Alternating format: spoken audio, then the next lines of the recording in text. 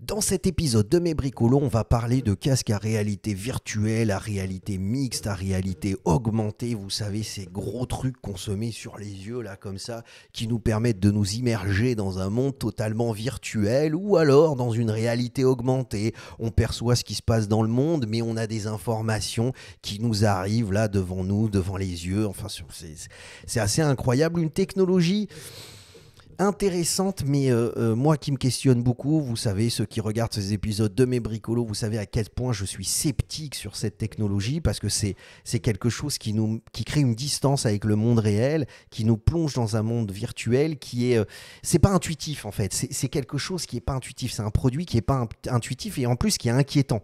en plus de nous isoler, il y a quelque chose qui est pas naturel dans cet objet. Mais maintenant, ce qui s'est passé, c'est que Meta, c'est-à-dire Facebook, Facebook, Instagram, etc., Mark Zuckerberg a fait une conférence, elle s'appelle la Meta Connect, euh, ils font ça tous les ans, où ils proposent leurs nouveaux produits. On en avait parlé l'année dernière brièvement, mais là on va s'attarder un peu plus dans cet épisode de mes bricolos, parce que c'est vrai qu'ils ont proposé des produits que je trouve très intéressants et qui peut-être, peut-être me feront changer d'avis. C'est justement la question qu'on va se poser dans cet épisode de mes bricolos. On va découvrir ces produits, si vraiment c'est révolutionnaire, qu'est-ce que ça peut apporter, quelles sont les questions, les limites, les problématiques de ce type de technologie.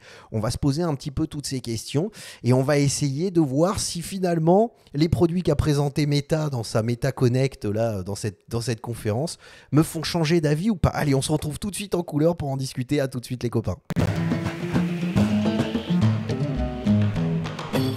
Salam alaikum, bienvenue à tous dans ce nouvel épisode de mes bricolos, épisode numéro 5 de la saison 5. Comment vont mes bricologistes préférés? Comment ça va les copains? J'espère que vous avez passé une merveilleuse semaine, j'espère que tout va bien pour vous. Moi ça me fait toujours très plaisir de vous retrouver, c'est notre petit rituel hebdomadaire chaque mercredi à 17h hors GMT. On se retrouve pour un nouvel épisode de mes bricolos. Et dans ces épisodes de mes bricolos, ben, on prend le temps de discuter, papoter, commenter, échanger sur les dernières actualités de la création, de l'innovation et du design. Et c'est vrai que...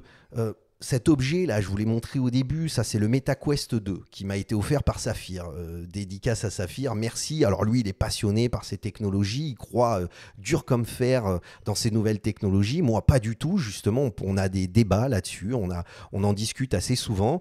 Il me l'a offert pour que je le teste. Je l'ai vraiment testé. J'ai essayé de comprendre l'objet, mais il y a quelque chose qui qui me convient pas. Alors c'est vrai que c'est mon expérience, mais il y a quelque chose qui me convient pas. Et d'ailleurs, vous allez voir, il m'a fait même tester euh, euh, l'Apple Vision Pro, mais parce que c'est vraiment quelque chose, on met sur les yeux, c'est assez désagréable, c'est lourd, c'est pas. Et puis, on est, on est complètement déconnecté du monde réel, c'est-à-dire on est enfermé dans cette boîte, c'est c'est ce que je dis, c'est-à-dire c'est contre-intuitif et puis c'est assez gênant. Alors j'ai essayé, j'ai essayé des applications de modélisation 3D, j'ai essayé certaines choses, mais honnêtement, euh, tu, vois, tu te dis, je vais pas investir dans un produit comme celui-là parce que, à part si tu fais du jeu vidéo, et là pour le coup, je suis totalement d'accord, puisque le principe du jeu vidéo, c'est essayer de s'immerger le plus possible dans l'action et dans ce que propose ce jeu vidéo finalement, pour se retrouver dans le monde qui a été créé euh, euh, comme une expérience totalement différente de ce que tu peux vivre dans la réalité. Donc cette question d'immersion est fondamentale. Tu vois, moi par exemple, qui suis un, fan de F1, qui suit euh, tous les grands prix, c'est vrai que tu te dis si demain euh, tu joues un, jeu vidéo de F1, tu te mets le casque et là tu es dans la voiture, tu vis l'expérience complètement. Donc je peux comprendre, mais en dehors de ça, en dehors du jeu vidéo, euh, c'est pas un objet qui est vraiment très, très pratique. Cependant, et c'est là où je voudrais en venir, c'est que Meta, euh, un peu à l'image euh, des, vous savez, des keynotes d'Apple, des grandes présentations, euh, nous a fait sa grande présentation qui s'appelle le Meta Connect. donc là, on voit Mark Zuckerberg qui propose ses produits. Et c'est une grande présentation où justement, on présente toutes les technologies, toutes les nouvelles technologies de, de Meta et donc les nouveaux produits. Ça a vraiment pour but de montrer à quel point Meta n'est pas simplement une société, une entreprise de, de je veux dire, qui développent des réseaux sociaux et des applications, mais qui proposent des produits, des produits au même titre que ben, pourrait le faire ben, justement Google, Apple, etc., Amazon aussi, ils font ça. Mais là, donc Meta arrive avec ces produits-là, et on se retrouve avec un Mark Zuckerberg. Alors ça, c'est déjà la première chose que je voudrais noter, un Mark Zuckerberg qui arrive complètement différent par rapport à celui de l'année dernière. On en avait parlé brièvement dans un épisode précédent de mes bricolos de la saison dernière. Euh, et là, il arrive totalement différent, bouclette à l'air, tranquille, petit jean, t-shirt boxy, euh, là, euh, hyper tendance, un peu street. c'est assez, rigolo de voir ce, changement d'attitude. Et par contre, ce que je dois reconnaître, c'est que c'est vrai, contrairement à Apple qui fait des, des, keynotes, qui sont des présentations qui sont totalement enregistrées, et donc moi ça me gêne assez parce que ça crée une distance et on a, du mal quand on est euh, euh, euh spectateur de de s'identifier. Il y a quelque chose d'assez mécanique et je regrettais, et j'en ai parlé, hein. il y a quelques, pour l'épisode 1 de la saison 5, quand on parlait de la keynote d'Apple, je disais, moi je regrette un petit peu les moments où il y avait euh, Steve Jobs qui débarquait sur la scène, mal sapé avec ses New Balance, le t-shirt un peu rentré là, tu sais, dans le pantalon. Je regrette un peu ces moments naturels où, où tu communiais avec lui. Il y avait, il y avait, il y avait quelque chose d'assez euh, d'assez euh, spécial dans ces événements qui étaient enregistrés en direct et, présentés en direct. Et là, en fait, ce que je dois reconnaître, c'est qu'on retrouve un peu cette sensation à la seule différence que quand euh, c'est Meta qui te fait une présentation en direct, ben, tu es un peu méfiant. Parce qu'on connaît l'histoire de Meta avec les données personnelles, euh, avec les suppressions de comptes parce que ça leur plaît pas de les sujets que tu peux aborder. Donc il y a quelque chose qui est assez dérangeant. Euh, il y a un parti pris pour lesquels ben on n'adhère pas forcément. Et d'ailleurs, avec ce qui se passe dans le monde actuellement, hein, euh, on se rend bien compte qu'il euh, il y a certains sujets qu'on ne peut pas aborder, sinon on se fait tout de suite euh, supprimer de ces réseaux sociaux. Donc moi, généralement, quand il y a Meta, hein, Meta c'est Facebook, Instagram, etc., WhatsApp et tout ça, qui, qui commence à faire des présentations, tu vois, il y a un côté où je me méfie. Cependant, on va regarder un petit peu les produits. Donc, c'est ce que montre Mark Zuckerberg. Ce sont ces deux produits. Donc, le Meta Quest 3, qui est euh, finalement euh, une version euh, connue. Hein, ça, c'est, pas, pas quelque chose de nouveau. Mais la vraie nouveauté, c'est le Meta Quest 3S à 300 dollars. C'est-à-dire, là, on est sur du 3000 dirhams. On est sur un, un, peu plus, tu vois ce que je veux dire. On est sur un peu moins de 300 euros. là, on arrive sur des prix qui sont intéressants parce que c'est abordable. Je veux dire, tu peux te poser la question quand tu as un budget comme ça, où tu te dis, tiens, j'ai peut-être envie de tester cette technologie, euh, à moins de, de 3000 dirhams, de 300 euros, de, de, 300 dollars, c'est vrai que tu te dis, bon, ben, je peux tester la technologie. Et ce qui est vrai, c'est que le produit en lui-même, c'est-à-dire euh, euh, les, l'évolution technologique, euh, est quand même intéressante et beaucoup plus euh, intéressante que le MetaQuest 2, permet beaucoup plus de choses, notamment euh, dans cette réalité virtuelle, mais on va dire augmentée, c'est-à-dire la capacité de, visualiser euh, le monde autour de soi et puis après d'avoir des images qui apparaissent sous les yeux, chose que le, le MetaQuest 2 ne fait pas du tout, c'est-à-dire une fois que tu es enfermé dans le monde virtuel, tu restes dans ce monde virtuel. Là, il te donne la possibilité d'être à la fois dans un monde de, à réalité augmentée où tu vois ce qui se passe autour de toi et puis tu as des, donc des images augmentées ou alors une réalité virtuelle hein, euh, où tu t'immerges complètement, un peu à l'image, si vous voulez, de l'Apple Vision Pro. Donc c'est, c'est quand même intéressant parce que pour le coup, tu te dis qu'un budget comme ça, c'est moins cher que. C'est à peu près le prix d'un iPad, si vous voulez. Euh, et c'est moins cher qu'un iPad Pro, alors là, largement moins cher. Donc, à ce prix-là, tu dis, ben, pourquoi pas prendre cet objet? Donc, c'est pas que je suis plus séduit par le produit parce que je trouve qu'il y a quelque chose qui est complètement contre-intuitif et je m'explique. Je m'explique parce que déjà à l'époque où on avait les appareils argentiques, euh, je veux dire, il y a plein d'écrits euh, qui expliquent que avoir à l'époque, hein, quand on avait des, appareils photo qu'on mettait sur les yeux, ou les réflexes d'aujourd'hui, même s'ils ont des écrans, donc on n'est pas obligé de les mettre au niveau des yeux, ça crée une distance et ça crée euh, un, quelque chose d'assez inconfortable pour la personne qui est prise en photo. Parce que tout d'un coup, il y a une rupture, il y a un élément entre la personne qui prend la photo et la personne qui est prise en photo. Et déjà, sur le plan ergonomique, moi je me rappelle quand j'étais étudiant en design, c'était déjà une grande problématique. C'était déjà une question parce qu'il y avait beaucoup de sujets autour de cette problématique de l'appareil photo qui se positionne au niveau des yeux. Et ça a changé maintenant avec, c'est vrai que maintenant avec les, téléphones, euh, ben on, a plus ce problème. On peut prendre les photos un petit peu différemment.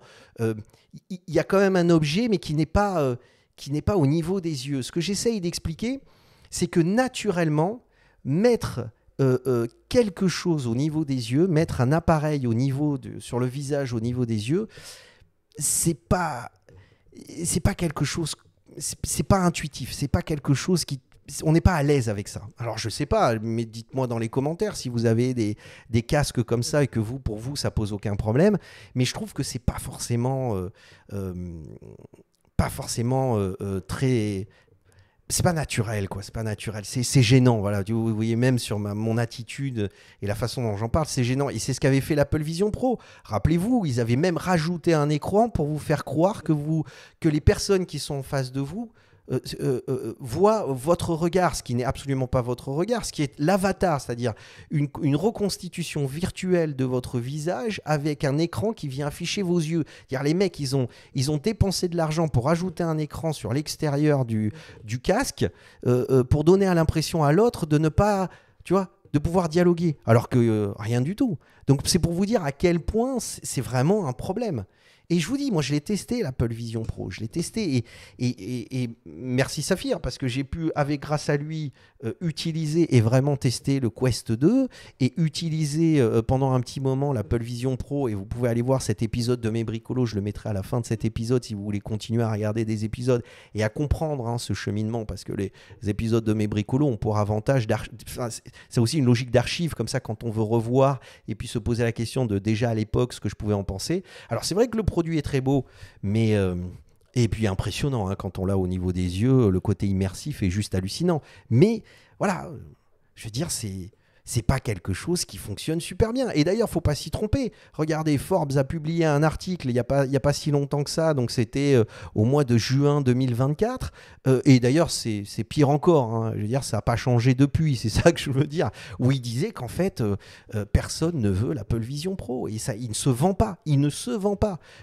On s'attendait à ce que tout d'un coup, ce produit soit acheté par, par, par les consommateurs parce que, voilà, tout d'un coup, c'était un produit disruptif euh, un peu euh, euh, aussi important que, le premier iPhone quand ils avaient annoncé le premier iPhone, mais pas du tout. Hein. ça a été ça n'a pas du tout été un produit qui a séduit son public. Et combien de vidéos sur YouTube, combien d'articles parlent du fait que les, bah, consommateurs ont acheté ça au début, ceux qui étaient vraiment excités par cette technologie, l'ont utilisé quelques jours, et puis après l'ont posé dans un coin et s'en servent plus. Et, même moi, à l'époque, quand je l'ai testé, je me rendais bien compte que c'était un produit pas euh, qui était c'était pas un objet du quotidien vraiment pas du tout quoi tu sors de là tu le portes une heure tu le poses tu, mets au moins euh, une demi-heure trois quarts d'heure à te, reconditionner au monde réel c'est c'est très gênant. Alors après, dans le domaine professionnel, je pense que pour certains cas très précis, euh, ça peut être utilisé, mais c'est c'est trop un produit de niche, quoi. C'est quelque chose qui n'est pas. Euh, voilà. Donc il y a cet article qui en parle et qui dit que, ben voilà, les attentes d'Apple ne sont absolument pas atteints et les, objectifs d'Apple ne sont absolument pas atteints. Et c'est un produit qui fonctionne pas. Alors. Bon, là, on est quand même sur un produit de 3500 euros. On arrive sur ce produit qui est le Quest 3S qui coûte moins de 300 euros. Ouais, là, pour le coup, tu te dis, même si je ne suis pas convaincu, même si peut-être que je vais le tester puis je le mettrai dans un coin, bon, ben, l'objet est plus léger, euh, plus fin, il est moins épais que le Quest 2. Je sais pas si tu as vu la, largeur du truc, mais il est moins épais, donc il est, il est, il est moins lourd. Euh, il permet de, Bon, tu peux te dire que tu peux le tester, mais ce qui est vraiment très intéressant, c'est le Orion. Euh, qui a été présenté le même jour, donc toujours pendant cet événement du, du MetaConnect 2024, avec le Mark Zuckerberg qui arrive et qui te. en, en streetwear là. le même jour, ben voilà, il a présenté cette paire de lunettes. Alors, qui est pour le coup ça, c'est un, prototype. On est sur un dream product. On est complètement dans la logique d'un produit qui n'est pas commercialisé, qui ne peut pas être commercialisé en l'état. Apparemment, une information que j'ai eue, euh, euh, que j'ai entendue, que j'ai lue dans un, dans un, dans un, je sais plus plus où, mais en fait qui disait que à mettre au point, c'est-à-dire à produire une pièce à produire, coûtait plus de 10 000 euros. Donc t'imagines bien qu'ils vont pas le commercialiser. Tu le commercialiseras combien un truc comme ça? Ça serait beaucoup trop cher. Mais en tout cas, ce qui est sûr, c'est qu'on est sur un produit et l'intention de présenter le produit est aussi une façon de, de te de te motiver à, acheter le, le, 3S en te disant voilà les objectifs, voilà vers quoi on va. Donc un, une marque qui, prend le risque de l'innovation, encore, on en a parlé hein, dans ces épisodes précédents de mes bricolos, euh, justement c'est quelque chose qui, euh, qui est séduisant, où tu as envie d'adhérer un petit peu à cette... Euh, à, cette, ambition de la marque. Et là, le Orion est assez incroyable parce que ce n'est pas un produit, mais c'est plusieurs produits qui sont proposés, dont notamment ce bracelet qui permet en fait, qui est, euh, qui permet en fait, lorsque tu fais des mouvements de la main, n'importe quel mouvement, de reconnaître ces mouvements de la main et de créer une interaction avec ta paire de lunettes.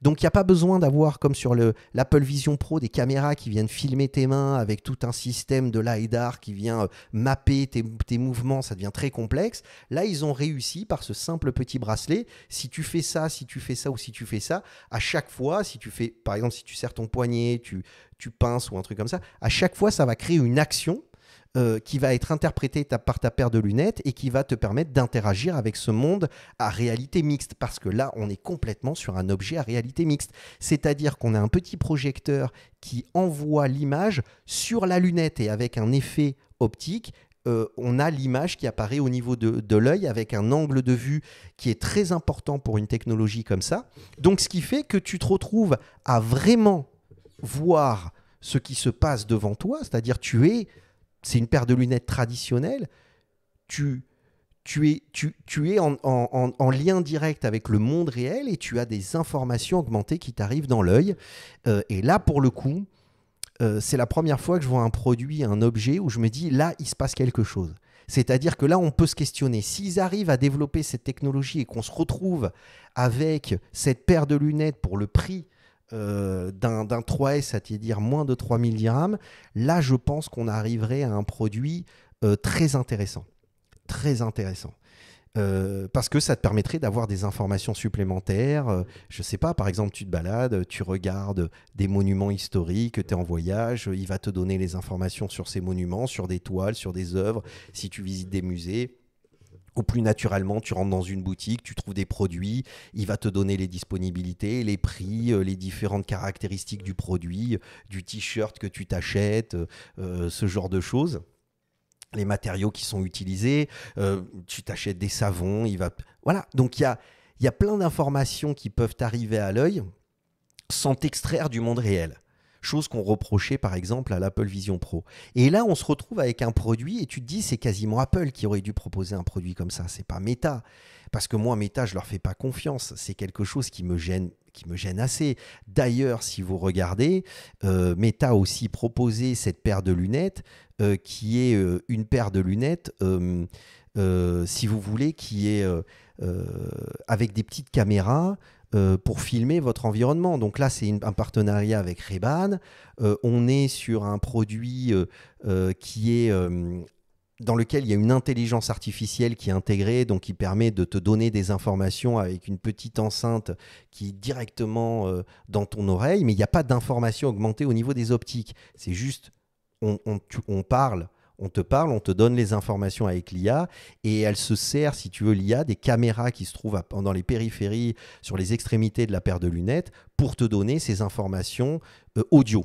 D'accord? Et elles peuvent permettre de filmer l'environnement. D'accord? Donc, c'est un objet intermédiaire, mais comme il n'y avait pas d'informations sur l'optique, bon, bah, tu te disais pourquoi pas. Mais là, avec l'Orion et avec la capacité d'avoir une image projetée à l'intérieur de l'œil, euh, c'est quand même pas mal, tu vois. Regarde, tu as, des exemples sur ce que ça te permet de faire. Là, c'est différent parce que là, c'est pas, euh, t'es pas obligé de dépenser beaucoup d'argent à avoir un écran qui vient euh, te, projeter dans l'œil exactement le monde réel qui y a autour de toi. Là, tu, tu le vois tel qu'il est. tu comprends ce que je veux dire? Donc, c'est assez impressionnant. Tu vois? Mais se pose la question de cet objet, parce que quand c'est Facebook, Meta, Instagram, enfin quand c'est le groupe Meta qui propose ces produits, euh, déjà avec l'intelligence artificielle, euh, euh, il y a cette question des données personnelles, on en avait parlé, parce que maintenant que l'IA va même intégrer les iPhones, les téléphones, ce qui est déjà le cas, mais alors là, l'aspiration des données personnelles sera multipliée par la puissance, si vous voulez, des IA. mais alors en plus, si tu portes une paire de lunettes qui filme constamment ton environnement, ça pose un vrai problème. Et c'est le cas. Euh, vous avez vu, je vous ai parlé de cette collaboration avec Reban. Eh bien, il y a des petits malins de Harvard qui se sont amusés à créer une application qui vient, euh, lorsque vous vous déplacez dans la rue, filmer votre environnement et avec un système de reconnaissance faciale, prendre les informations des personnes que vous croisez. Et ils ont réussi à le faire. Et ça pose un vrai problème. Parce qu'en fait, les personnes que vous croisez ne sont pas au courant que vous êtes en train de les filmer et ne sont pas au courant que la reconnaissance faciale qui est activée et donc qui est programmée euh, par l'optique euh, va chercher les informations de ces données et de ces personnes qui sont croisées et va vous les transmettre. Euh, nom, prénom, photo. Euh, parce que maintenant que votre vie est sur Internet, euh, ben, il va aller sur vos comptes perso, trouver votre adresse, etc. Donc encore une fois, c'est utiliser une technologie à des fins pas forcément pas forcément très très rassurante. Et, c'est des étudiants de Harvard qui ont fait ça, ça fait le buzz sur Internet, et c'est l'optique de Meta, euh, les Ray-Ban de Meta qui sont utilisés pour faire ça. Et donc, il va après, euh, euh, il, fait ce, ce, système de reconnaissance faciale et maintenant tout est facile, tout est, tout est disposé. Puis après, il vous envoie sur votre téléphone les informations de la personne que vous avez croisée avec cette paire de lunettes qui est proposée par Meta. Donc, t'imagines quand tu auras la Orion, d'accord, qui est cette paire de lunettes en plus avec les, informations qui vont directement t'arriver dans l'œil, les personnes ne pourront plus. Enfin, tu, vois la, problématique. Donc on, sort de la problématique. Alors c'est vrai que là, pour le coup, euh, cette espèce de gros truc que tu as sur les yeux, bah c'est. Moi, c'était ça qui me posait problème et je vous ai expliqué pourquoi. Donc, c'est vrai que si demain, c'est ce produit, l'avenir, de, ces, euh, ces gros casques euh, qui, qui t'enfermaient dans un monde virtuel et qu'on se retrouve avec des petites optiques comme ça de réalité augmentée, euh, pour le coup, pourquoi pas Mais après s'ouvre la problématique des données personnelles et, ça devient quand même assez terrifiant là, ce qui se, présente à nous. Entre l'intelligence artificielle et, le nombre de capteurs qui vont se retrouver sur, sur ton visage et qui vont te permettre d'aspirer le monde en face de toi, on va où les gars? Mais en même temps, c'est pas sûr parce que on se rend compte que les gens n'adoptent pas forcément ces produits-là parce que euh, le produit Reban, alors là ils ont sorti une couleur assez sympa euh, en édition limitée, euh, c'est ce qu'ils ont proposé pendant cette keynote, pendant cette keynote, pardon, pendant cette MetaConnect, c'est-à-dire cette optique transparente assez belle où on voit tous les composants électroniques à l'intérieur. je trouve qu'en termes de en termes de, design de style et de et, je veux dire d'esthétique générale, je trouve ça plutôt sympa. Moi, moi j'aime bien, mais c'est pas pour autant que j'ai acheté le produit. Euh, ça reste un produit qui est cher et qui me voilà où il y a des choses qui me déplaisent d'avoir des caméras toujours au niveau des yeux. Et alors, est-ce que ce produit a vraiment un avenir? On a vu que Forbes nous disait que bah, les, attentes d'Apple sur la vente du produit de l'Apple Vision Pro, bah, les objectifs n'étaient pas atteints. Et puis on a aussi cette information, c'est que le HoloLens, qui est donc un casque de réalité, euh, euh, euh, de réalité augmentée, c'est-à-dire c'est aussi une optique transparente, voilà, qui avec un écran qui est projeté, bon, qui coûte une fortune et qui permet d'accéder à, des, à, des, à des informations dans son champ de vision, utilisé principalement dans le monde professionnel. Mais en fait, ce qui se passe, c'est que euh, Microsoft arrête la production de ces produits-là. Donc ça veut dire que d'une certaine façon, alors tu vas me dire, le produit n'a rien à voir avec la Orion, je suis d'accord avec toi, on n'est pas du tout sur le même produit et sur la même praticité, ergonomie du produit. Là, on est vraiment sur un espèce de gros bordel là qui, qui mis sur ton visage, alors que le que l'Orion, on est vraiment sur cette paire de lunettes qui pèse, je crois, ils disent 100 grammes, voilà, en, moins de 100 grammes, elle pèse. Donc c'est vrai qu'on n'est pas du tout sur le même euh, le même produit, mais ils arrêtent la production parce que ça fonctionne pas du tout. Vous voyez ce que je veux dire? Donc entre euh, euh, des petits gars de Harvard qui hackent la paire de lunettes et qui en font un objet euh, euh, qui va scanner le, visage des, visage des gens en direct et te donner les informations sur les personnes que tu croises. Et c'est assez terrifiant. Et d'ailleurs, les étudiants, vous voyez bien dans leur réaction qu'ils sont vraiment choqués par ce qui se passe. entre le HoloLens qui est arrêté, c'est vrai qu'on peut se poser les questions autour des produits qui ont été proposés. Maintenant, avoir un casque à réalité, euh, à réalité mixte, mais on est plutôt sur un casque à réalité virtuelle à moins de 300, 300 euh, euros, ben, pourquoi pas, ça devient intéressant. Si vous voulez vous l'acheter, tester le produit, euh, c'est vrai que ça peut être intéressant pour les personnes qui sont curieuses et qui jusqu'à présent n'avaient pas les moyens de s'acheter ces, ces produits-là. Vous pouvez voir vous verrez ce que, vous en faites. Moi, c'est vrai que le Quest 2, je m'en suis servi un petit peu, j'ai essayé, mais très vite, t'en as marre, tu vois, parce que tu n'as pas encore d'application qui te permette de vraiment faire quelque chose avec ce produit. Mais ça, tout d'un coup, ça devient accessible. Donc maintenant, qu'est-ce que va faire Apple? Est-ce qu'ils vont nous proposer, moi je suis quasiment sûr qu'ils vont nous proposer un, Apple Vision, pas Pro, mais un Apple Vision R euh, en tout cas, il va y avoir encore quelques itérations euh, qui, avant que ce produit soit vraiment soit un succès, soit Apple se rend compte que ça fonctionne pas du tout et part sur autre chose. Euh, mais cette paire de lunettes Orion, là, pour le coup, là, on est vraiment sur un, produit qui est quand même assez intéressant. Et si vraiment Meta arrive à développer ce produit correctement, la question de l'avenir se pose. Alors, c'est la question que je vais vous poser. Qu'est-ce que vous pensez de tout ça? Est-ce que vous vous croyez en ces trucs-là, en ces gros casques? Est-ce que vous en êtes servi? Est-ce que vous y croyez? Est-ce que vous êtes acheté ces produits-là? Est-ce que vous comptez vous acheter le, Quest 3S euh, pour tester cette technologie? Est-ce que euh, si une paire de lunettes sort comme ça, euh, un peu comme l'Orion, vous serez prêt à vous l'acheter? Dites-moi dans les commentaires ce que vous en pensez. Et puis moi, comme d'habitude, je vous laisse avec euh, des, épisodes qui vont s'ouvrir à droite et à gauche. Euh, et, puis vous pouvez cliquer sur ma petite tête si vous voulez vous abonner. Il vous reste encore ce petit moment pour vous abonner. Et puis voilà, donc euh, moi je suis encore très sceptique. Je suis pas du tout sûr que ça a un avenir. Mais bon, voilà, on en discutera dans des épisodes prochains de mes bricolos. Allez, je vous laisse et puis à bientôt. Slama à tous.